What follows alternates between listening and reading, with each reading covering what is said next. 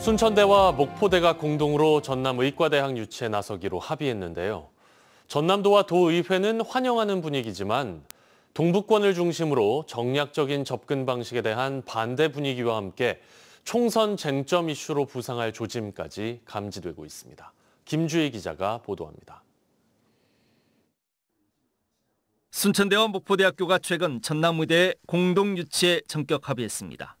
후속 세부안 마련에도 본격 착수할 방침입니다.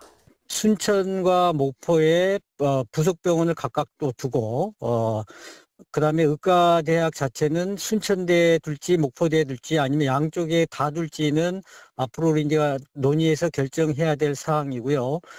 전남도가 가장 먼저 환영 입장을 밝혔습니다. 양 대학의 결정을 적극 지지하고 유치 활동도 적극 지원하겠다는 겁니다. 전라남도 온 도민의 30년 염원인 국립의과대학이 이번 기회에 반드시 유치될 수 있도록 최선의 노력을 다하겠습니다. 또한 전남 의대 범도민 추진위원회도 최근 국회의사당 앞에서 순천대 목포대와 함께하는 전남권 의대 신설을 촉구하는 결의대회를 갖고 한껏 분위기를 끌어올렸습니다.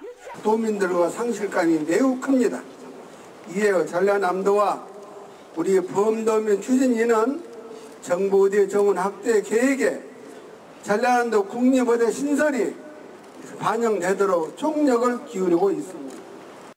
하지만 순천대와 목포대의 전남 의대 공동 유치 결정과 관련해 전남 동북권을 중심으로 우리의 목소리가 확산하고 있습니다. 노광규 순천시장은 최근 전남 의대 유치 문제와 관련해 정략적 접근을 반대한다는 입장을 밝혔습니다.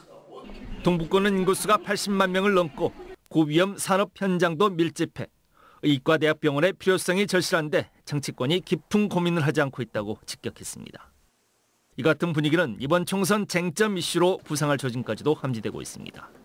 동북권 총선 출마를 선언한 예비 후보들은 전남 의과대학 유치가 정략적 판단보다 전략적 판단을 필요로 한 사안이라고 주장합니다.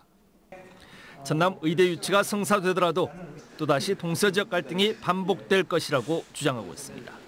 처음에 뭐 의대 유치가 가능할 수 있겠죠. 그러나 그 다음에 병원 문제가 또 발생할 거고 병원은 그러면 어, 목포 쪽에 둘 것이냐 그렇지 않으면 순천 쪽에 둘 것이냐. 답보 상태인 전남 의대의 성공적인 유치를 위해 순천대와 목포대가 합의한 공동 유치 전략. 하지만 자칫 예상치 못한 전남 지역 내 또 다른 소모적인 갈등 요인으로 작용할 수 있는 만큼 더욱 신중한 접근과 고민이 필요해 보입니다. MBC 뉴스 김주입니다.